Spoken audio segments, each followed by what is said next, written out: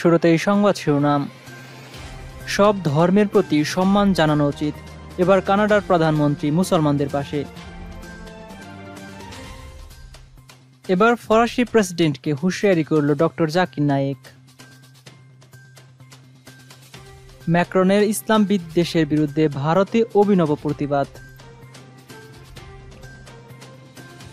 ম্যাক্রনের ইসলাম বিদ্বেষী বক্তব্য এবং ফ্রান্সের সহিংসতা, সুযোগ নিচ্ছেন ডোনাল্ড ট্রাম্প। এবং সবশেষ থাকছে। মহানবী সাল্লাহ ইসলামকে অবমাননা ইতালিতে প্রকাশ্যে আজান দিয়ে প্রতিবাদ। এতক্ষণ শুনছিলেন সংবাদ শিরোনাম, এবার চলুন বিস্তারিত জানা যাক। সব ধর্মের প্রতি সম্মান এবং শ্রদ্ধা জানাতে আহ্বান জানিয়েছেন কানাডার প্রধানমন্ত্রী জাস্টিন ট্রুডো। বাক স্বাধীনতার নামে ইসলাম অবমাননার প্রতিক্রিয়ায় তিনি গত শুক্রবার কথা বলেন। কিছুদিন আগে মহানবী হরজত মোহাম্মদ সাল্লাহ আলাইসলামকে অবমাননা করে কার্টুন প্রকাশ করেছে ফরাসি ম্যাগাজিন শার্লি এবদো। এই ঘৃণ্য পদক্ষেপের প্রতি সমর্থন জানিয়েছেন ফরাসি প্রেসিডেন্ট ইমানুয়েল ম্যাক্রন।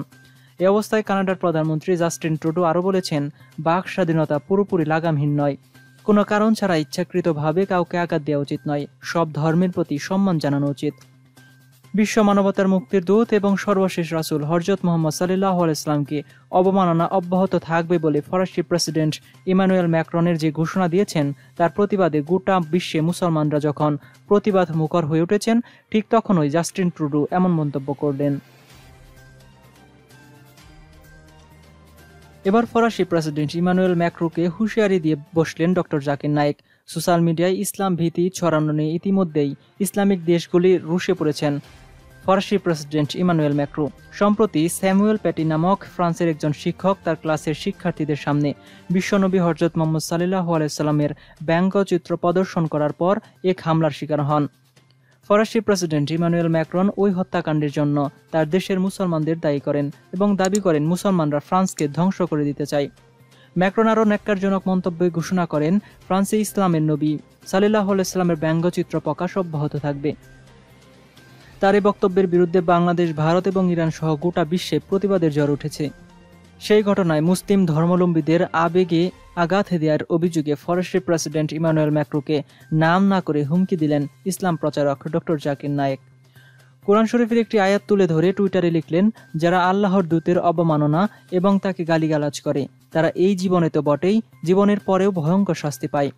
পাশাপাশি ফরাসি পণ্য বয়কটেরা আর্জি জানান ডক্টর জাকির নায়েক।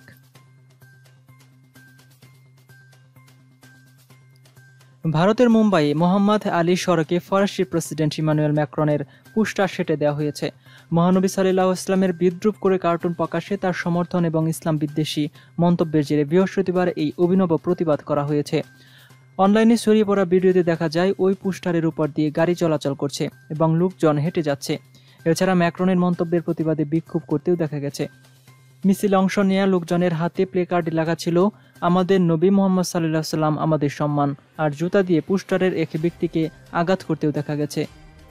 তবে ওই পুস্টার নিয়ে মহারাষ্ট্রের রাজনৈতিক খেলা শুরু হয়েছে। শিবসেনা ইসলামী সন্ত্রাসবাদে সমর্থন দিচ্ছে অভিযোগ তুলেছে হিন্দুত্ববাদী দল বিজেপি। এছাড়া যারা ওই পুস্টার সাটিয়েছেন তাদের বিরুদ্ধে ব্যবস্থা নেওয়ারও দাবি করেছেন তারা। বিজেপি নেতা কৃতি সময়া বলেন, ফ্রান্স যখন ইসলামী সন্ত্রাসবাদের বিরুদ্ধে বক্তব্য দিচ্ছে, তখন মহারাষ্ট্র সরকার এমন লোকদের পাশে দাঁড়িয়েছে যারা উগ্র ইসলামী সন্ত্রাসবাদের সমর্থন দিচ্ছে। তবে পুলিশ দ্রুত পুস্টার সরিয়ে ফেলেছে। এ ঘটনায় কোনো মামলা দায়ের করা হয়নি।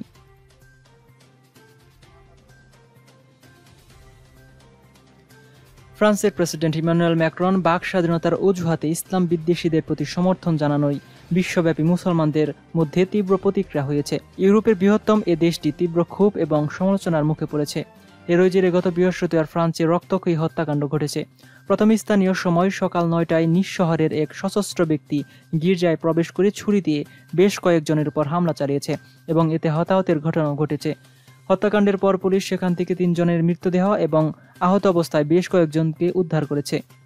এ ঘটনার পর স্থানীয় গণমাধ্যম আরেকটি খবরে জানিয়েছে দক্ষিণ পূর্ব ফ্রান্সের ওবি নিউ শহরে ছুরি হাতে এক ব্যক্তিকে পুলিশ গুলি করে হত্যা করেছে।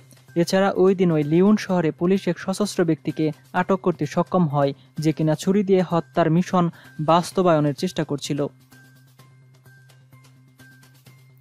ওদিকে ইসলাম অবমাননার ঘটনায় যখন ফ্রান্সে উত্তেজনা এবং সহিংস ঘটনা ঘটছে, তখন কট্টর মুসলিম বিদ্বেষী ডোনাল্ড ট্রাম্প এ পরিস্থিতির সুযোগ নেওয়ার চেষ্টা করছেন। তিনি ইসলাম এবং সন্ত্রাসবাদকে এক করে দেওয়ার চেষ্টা করছেন এবং ফ্রান্সে সাম্প্রতিক সহিংসতার ঘটনাকে ইসলাম এবং মুসলমানদের বিরুদ্ধে কাজে লাগানোর চেষ্টা করছেন। তিনি এক টুইট বার্তায় বলেছেন, তার ভাষা ইসলামপন্থীদের সন্ত্রাসী হামলা দ্রুত বন্ধ করতে হবে। এদিকে প্রেসিডেন্ট ট্রাম্প সে দেশের মুসলমানদের প্রবেশে বাধা দিচ্ছেন। অন্যদিকে ফরাসি প্রেসিডেন্ট ম্যাক্রোনও নিজ শহরে হামলার ঘটনাকে ইসলামপন্থীদের কাজ বলে তুলে ধরেছেন।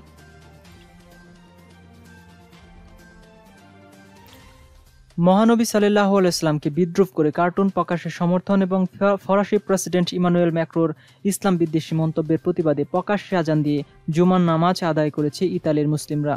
শুক্রবার তিরিশে অক্টোবর ইতালির রুমে ব্যতিক্রমে এ প্রতিবাদ অনুষ্ঠিত হয়। এ সময় প্রতিবাদকারীরা ফ্রান্সের দূতাবাস ঘেরাও করতে চাইলে পুলিশ বাধা দেয়। পরে দূতাবাসের সামনে ইতালি কমিউনিটির নেতারা প্রতিবাদ সভা করেন। বিভিন্ন স্লোগান সংবলিত প্লেকার্ড, ব্যানার, নিয়ে নারী, পুরুষ অসংখ্য মানুষ প্রতিবাদে অংশগ্রহণ করেন। পরে প্রকাশ্যে আজান দিয়ে জুমার নামাজ আদায় করা হয়। বাংলাদেশি ছাড়াও ইতালিয়ান অন্যান্য অভিবাসীরা সবাই অংশ নিয়ে প্রতিবাদ জানান।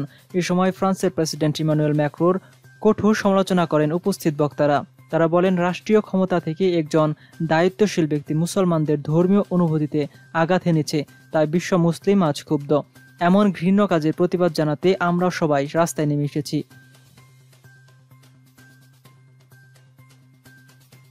আজকের মতো এ পর্যন্তই ছিল। ভিডিওটি সম্পর্কে আপনাদের মতামত অবশ্যই কমেন্ট বক্সে কমেন্ট করে জানাবেন।